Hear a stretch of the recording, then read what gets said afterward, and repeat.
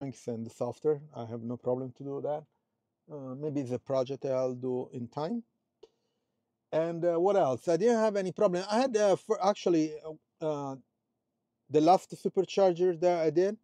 Uh, I plugged in the um, the supercharger plug, and uh, after I entered the car, it just disconnected. So I just uh, there back there and redo it, and everything worked.